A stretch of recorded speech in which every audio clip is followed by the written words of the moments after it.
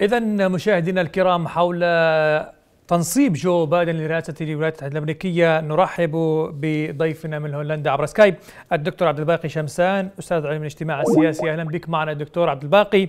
يعني اليوم هو اليوم الأول لدخول جو بايدن إلى البيت الأبيض. ما الذي سيتغير؟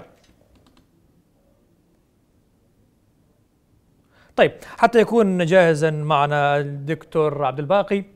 طيب عاد الينا الدكتور دكتور. تسمعني الآن؟ نعم بوضوح. حياكم الله.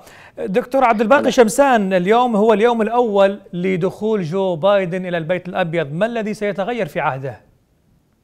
آه طبعا بالنسبة للتحولات ينبغي الا يكون التفاؤل مرتفع لأن آه، دونالد ترامب أحدث تغييرات آه، خاصة فيما يتعلق بالقضية الفلسطينية ما يتعلق ب الملف الإيراني يعني وضع كثير من من العراقيل وكما تعلم أن السياسة الأمريكية هناك مؤسسات راسخة وهناك لوبي صهيوني مؤثر في صناعة القرار.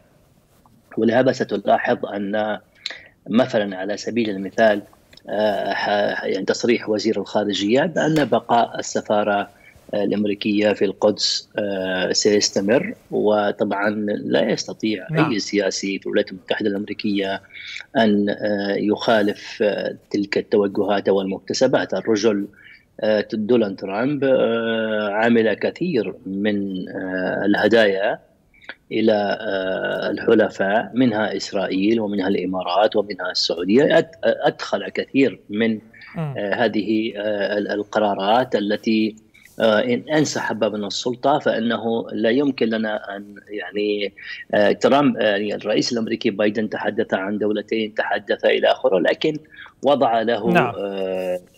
إعاقة بحيث أنه من الصعوبة بمكان أن يتحدث عن إلغاء أو نقل السلطة السفارة الأمريكية من م. القدس بالنسبة لليمن وتصنيف الحوثيين نعم. هو صنف الحوثيين للتخفيف ليس بالحوثيين جماعة إرهابية بامتياز وكان بالأحرى به أن يتم تصنيفهم منذ فترة طويلة لكن لأسباب أيضا استراتيجية أجل ذلك وبالتالي هنا آه، خفف الضغط على السعودية من حيث أنها تواجه جماعة إرهابية خفف الضغط من حيث أنه آه، سيكون أي تفاوضات سي سي للسلطة الأمريكية القادمة سيكون نعم. الحوثيين جزء من هذا التفاوض طيب. لكن أعتقد أن ان الأمور في منطقتنا طيب دكتور سنأتي إلى إلى إلى منطقة الشرق الأوسط لكن يعني اليوم مع غياب وذهاب وخروج آه، ترامب دونالد ترامب من آه، البيت الأبيض ما الذي سيغيب مع دونالد ترامب وسيبقى حاضرا مع في زمن جو بايدن اولا آه، هناك ملف كبير جدا في الولايات المتحدة الأمريكية ربما يأخذ الأولوية نعم. من السياسات الخارجية هو بالتوازي الملفين بنفس الثقل ملف كوفيد 19 هذا ملف كبير جدا وضحايا نعم. في الولايات المتحدة الأمريكية ب 400 ألف وهناك الملف الاقتصادي وكيفية إنعاش ودعم الأسر والمؤسسات الصغيرة وهذا مشروع سيمتص كثير وهناك جهود كبيرة جدا آه، يبذلها حتى آه، يحاء وهناك أيضا موضوع اعاده اللحمة وتوحيد الهوية الأمريكية وتخفيف الانقسام. هذه مسائل سيستنزف فيها بايدن كيفية توحيد التوجهات الأمريكية والمجتمع الأمريكي وعدم الانقسام هذا الذي أحدثه ترامب. وبالتالي هذا يحتاج وقت وسيرهق إدارة ترامب إدارة بايدن كما أن دعم الدعم الاقتصادي لإحداث نوع من الإنعاش الاقتصادي ودعم آثار وانعكاسات كوفيد 19 هذا في غاية الأهمية. ثم أيضا كيفية تخفيف الانعكاسات المباشرة هذا عنصر يوازيه تماما إعادة آه، الحلفاء وإعادة الاستراتيجية الأمريكية بالحفاظ على الحلفاء في منطقة الشرق الأوسط في نعم. الاتحاد الأوروبي طيب. في كل العالم لذلك الملف الملف الأمريكي كثير من الناس يعتقدوا أنه آه، بلحظة أو بإمضاء سيتم التحول م. ليس المسألة. بهذه السهولة ولكن نعم. هناك مجموعة من التوقيعات على سبيل المثال آه تلك الدول التي نعم. حضر, حضر تم حظر دخولها الجدار الفاصل بين المكسيك. هذه هي قرارات تنفيذية قرارات مهمة يعني تم إلغاها من قبل جو بايدن 17 قرارا وأهمها كما ذكرت دكتور عبد الباقي وهو إلغاء اشكال إشكالية حظر السفر تقريبا من بعض الدول ذات الأغلبية المسلمة. هذا مهم جدا للدول يعني لكن دكتور بالنسبة كما ذكرت لتوحيد الهوية الأمريكية. اليوم شاهدنا قبل أسابيع اقتحام للكونغرس الأمريكي وهناك انقسام حاصل في المجتمع الأمريكي وأنتم أستاذ في علم الاجتماع السياسي كيف يمكن توحيد الهوية من جديد؟ المسألة ليس بهذه السهولة لأنه كما تعلم المجتمع الأمريكي تتحكم فيه صناعة ما يسمى هناك وسائل إعلام ووسائل وسائط وهناك نعم. جماعات اللوبي المؤثرة في تشكيل الرأي العام الأمريكي هناك آه، استفادة. هناك المجتمع الأمريكي أو الغالبية العظمى غير النخب.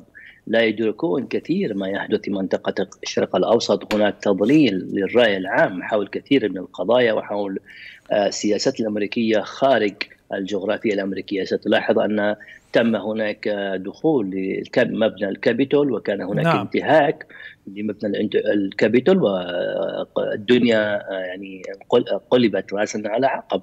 ولكن هناك أحداث أكبر بكثير مما يحدث من اختراق مبنى الكابيتول.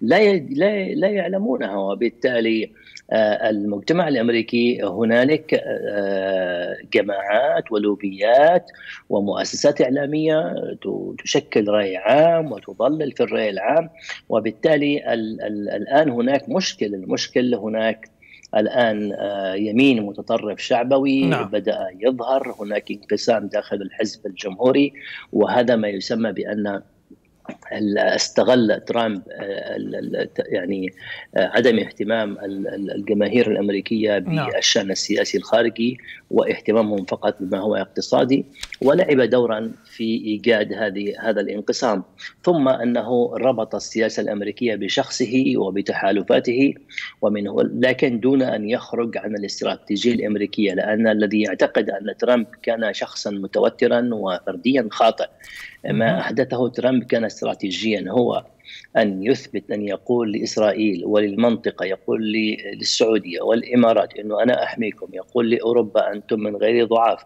يشجع على بريطانيا أن تكون دولة بديلة نعم. يضعف التحالفات. كان كان عملا استراتيجيا. آه، الآن بايدن يريد له توجه مختلف، هذا التوجه المختلف يتمثل في إعادة الحلفاء آه، العودة إلى المؤسسات الراسخة. نعم. آه، يعني ثبات القرار لأنه ترامب يتغير بين لحظة وأخرى وهذا كان مهم أيضا في إرباك المشهد العالمي. وهنا في ثبات القرار بالنسبة لجو بايدن. دكتور إذا سمحت لي في ثبات القرار بالنسبة لجو بايدن. إذا ما دخلنا إلى الأمور والتحديات الخارجية لجو بايدن وإذا ما ذكرنا على سبيل المثال اليمن وأنتم من اليمن يعني هناك قرار مهم كان بالنسبة لإدارة جو لإدارة آه، دونالد ترامب وهو يعني يعني موضوع الحوثيين وتصنيفهم كجماعة إرهابية. اليوم مع إدارة جو بايدن كيف سيكون المشهد في اليمن وأيضا في الشرق الأوسط؟ القرار آه، نصفه خدمة لبايدن ونصفه غير خدمة.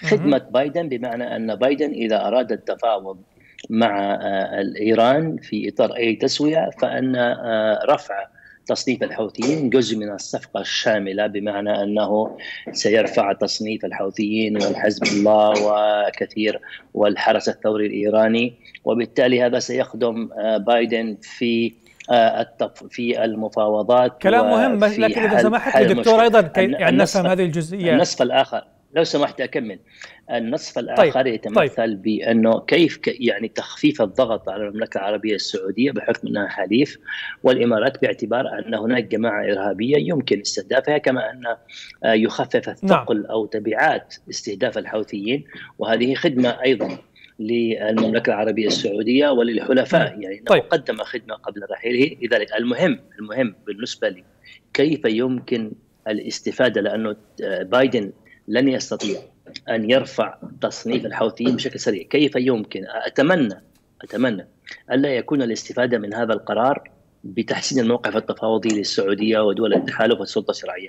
أتمنى أن يتم استفادة من هذا القرار بسرعة إنهاء الانقلاب وليس بالاستفادة نعم منه دكتور الباقي كان سؤالي يتعلق يعني إذا سمحت لي هنا سريعا يعني في هذه الجزئية تتحدثون بأن قرار تنص... يعني وصف أو جماعة الحوثيين كجماعة إرهابية هو خدمة لجو بايدن، كيف ذلك وإدارة ترامب هي من عملت على هذا؟ هل يعني هناك بالفعل الإدارة أو يمكن نسميها الإدارة العميقة من فعلت ذلك وليس دونالد ترامب؟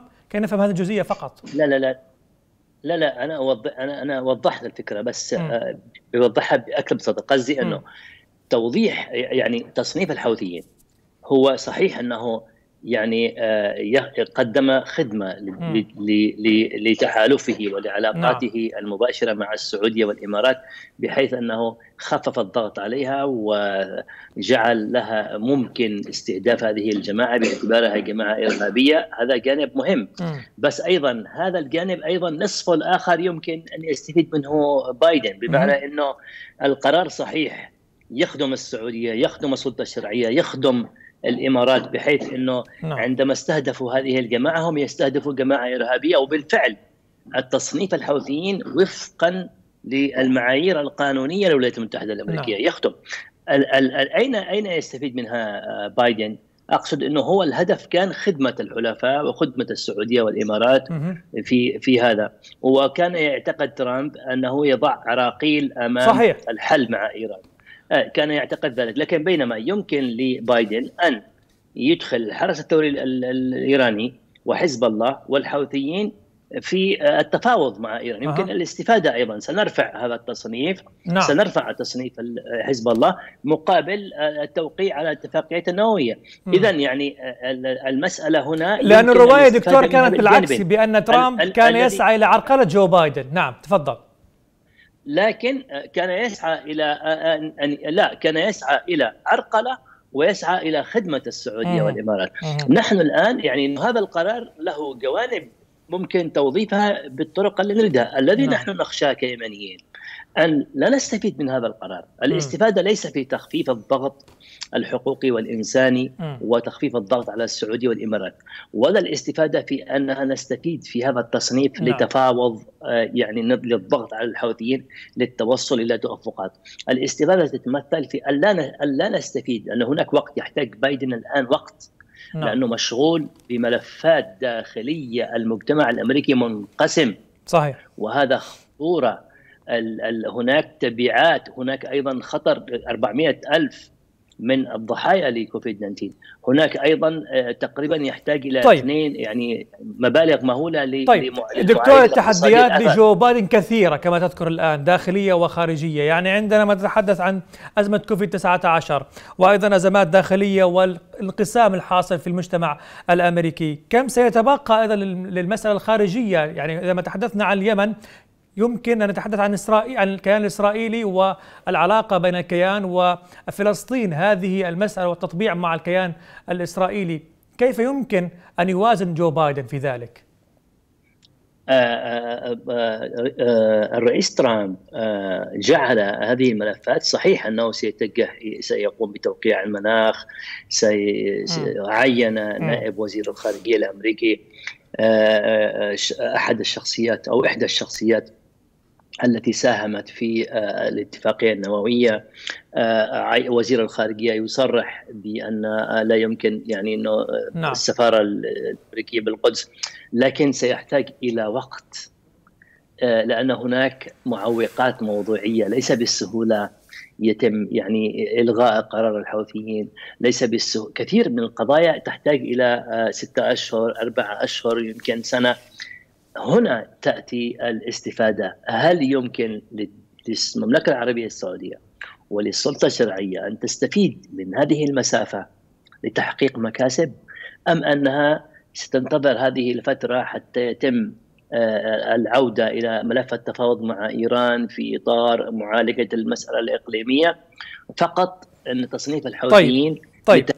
الموقف التفاوضي وأيضا آه، أريد أن أختم معك بتغريدة للسيد جابر الحرمي آه، دكتور عبد الباقي شمسان. يعني هي تغريدة صراحة مهمة بالنسبة للمساله آه، يعني القسم الأمريكي. هنا يقول السيد جابر الحرمي تخيل لو أن حاكما في دولة عربية إسلامية بدأ حكمه بصلاة ركعتين في مسجد ثم ثم تتلى آيات القرآن الكريم ماذا يمكن أن يقال عن هذا الحاكم؟